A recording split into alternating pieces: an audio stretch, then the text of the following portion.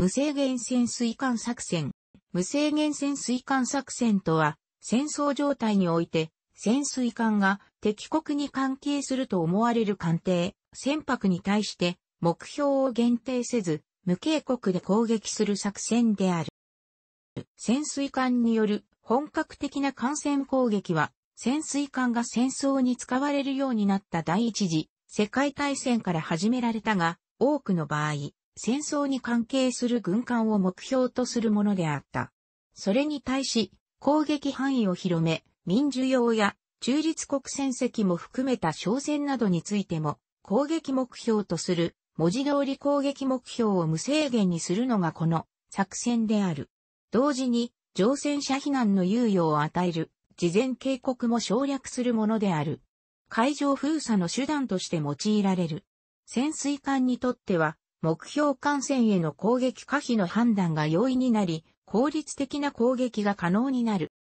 戦時国際法上では、軍事目標主義の原則から、沿岸の商工会に用いる船舶や、漁業船舶などへの攻撃も許されない、建前とされていた。また、中立国船舶への攻撃も原則として禁じられ、戦時禁制品を運ぶ等の中立違反行為が確認された場合に打歩などが許されるだけであった。そのため、無制限潜水艦作戦は、戦時国際法違反の戦争犯罪であるとの見解もあり、無制限潜水艦作戦の指令が、ニュルンベルク裁判での訴因の一つにも挙げられていた。他国からの非難を招き、戦争の状況をより複雑にする可能性を秘めている作戦と言える。第一次世界大戦において、アメリカ合衆国が参戦した理由の一つとして、ドイツによるこの作戦の影響が挙げられる。しかしながら、従来の戦時国際法は、水上艦艇による戦闘を想定したもので、新兵器である潜水艦の運用にはそぐわない面があったとも言える。例えば潜水艦に敵前で浮上しての臨検を要求することは、実際上の著しい困難があった。さらに、当時攻撃の対象から外すべきであった赤十字を背負った船舶に軍事関連の物資を運ばせるといった工作などもなされており、戦時において航海を航行する船舶を軍事用か民間かという区別をすることは厳密には不可能であったと考えるべきであるとも言え。ドイツ帝国による連合国及び中立国の連合国向け艦船、客船を含むへの攻撃が有名である。ドイツは1914年の開戦当初は中立国船舶への攻撃を禁止し、攻撃前の事前警告を潜水艦に義務付けていた。ドイツ海軍が無制限潜水艦作戦を最初に実施したのは1915年2月で、イギリス海軍の北海機雷封鎖による事実上の無制限攻撃への不満や、制限による潜水艦の運用難などから、イギリスの海上封鎖と周辺海域での無警告攻撃を宣言した。もっとも、ルシタニア号事件などの発生から、わずか半年で中止された。1916年3月と8月28日、順にポルトガルとイタリアがドイツへ宣戦した。戦争の長期化を見たドイツは、再び無制限潜水艦船を決意した。1917年2月、ドイツはイギリスとフランスの周辺及び地中海全域を対象にした全船舶標的無警告攻撃の完全な無制限潜水艦作戦の実施を宣言した。当時の皇帝ビルヘルム2世と最小のテオバルト・フォン、ベートマン・ホルベークはアメリカの参戦でドイツにとって不利になるとしてこの作戦に消極的であったが、エーリヒ・ルーデンドルフ少将ら軍部首脳陣はアメリカを過小評価していたこともあって、それらの慎重な意見を押し切って、無制限潜水艦作戦を実行に移した。この無制限潜水艦作戦の効果により、同年前半にはドイツ潜水艦部隊の戦果は最高潮に達した。しかし、同年後半には連合国側の対策の充実から、その戦果は急速に低下した。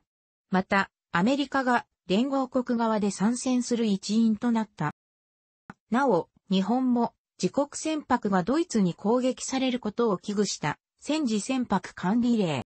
第二次世界大戦では連合国側、数軸国側ともに無制限潜水艦作戦を実施した国際条約により保護されるべき船舶も含む。ドイツ海軍の連合国大西洋航路に対するもの、大西洋の戦いを参照、アメリカ海軍による日本の南方航路に対するものが有名である。日本海軍は主力艦以外で敵戦艦を減らし艦隊決戦で主力艦の数的優位に立つ前言作戦の思想からアメリカ西海岸まで進出してアメリカ海軍の軍艦を叩く巡戦型と呼ばれる潜水艦を建造していた。第二次世界大戦が始まると、巡戦を津型潜水艦9隻がアメリカ西海岸において通称破壊作戦を実施した。真珠湾攻撃直後の12月20日頃から翌年上旬までの間にタンカーや貨物船を5隻撃沈さらに5隻大破させ、その総トン数は64,669トンに上ったアメリカ本土攻撃。さらにこれらの潜水艦に搭載されていた水蒸気によるアメリカ本土空襲やアメリカ海軍基地やカナダ軍施設に対する砲撃も行った。その後は1943年後半まで南太平洋やインド洋でアメリカや英連邦の船舶に対する通称破壊戦が行われ、対戦末期には複数の航空機を搭載できる大型潜水艦、E400 型潜水艦によってパナマ運河を爆撃する作戦が計画された。しかし、愛環巨峰主義と海上決戦思想、この思想の背景には、日本海海戦と海軍軍縮会議が大きく関係しているの意識が強かった日本では、戦艦などの主力艦が主役であり、潜水艦は航空機などと同様に艦隊決戦を補助するための存在としての認識が強く、上記のように初戦で行われたものの、通称破壊作戦は重視されなかった。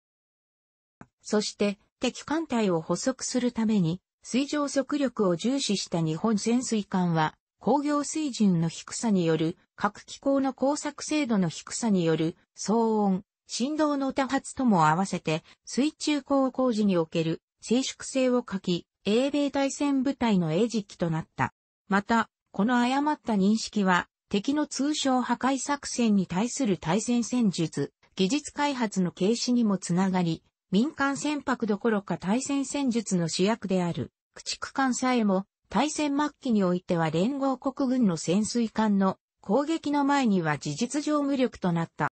アメリカ太平洋艦隊司令長官のチェスター・ニミッツ元帥は、日本海軍の潜水艦の運用方法について、古今東西の戦争史において、主要な兵器がその真の潜在威力を把握理解されずに使用された有形の例を求めると、すれば、それは、まさに第二次大戦における日本潜水艦の場合であろうと述べている。つまり、日本海軍がその真の潜在力を理解して使用していれば、戦争の行き来も大きく変わった可能性もある。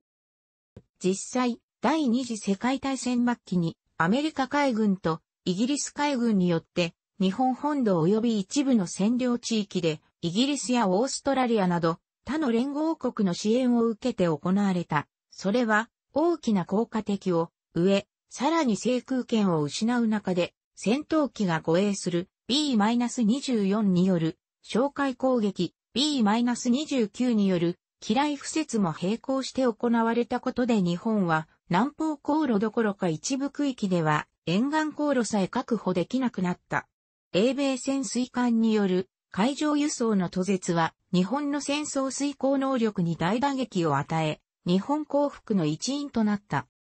楽しくご覧になりましたら、購読と良いです。クリックしてください。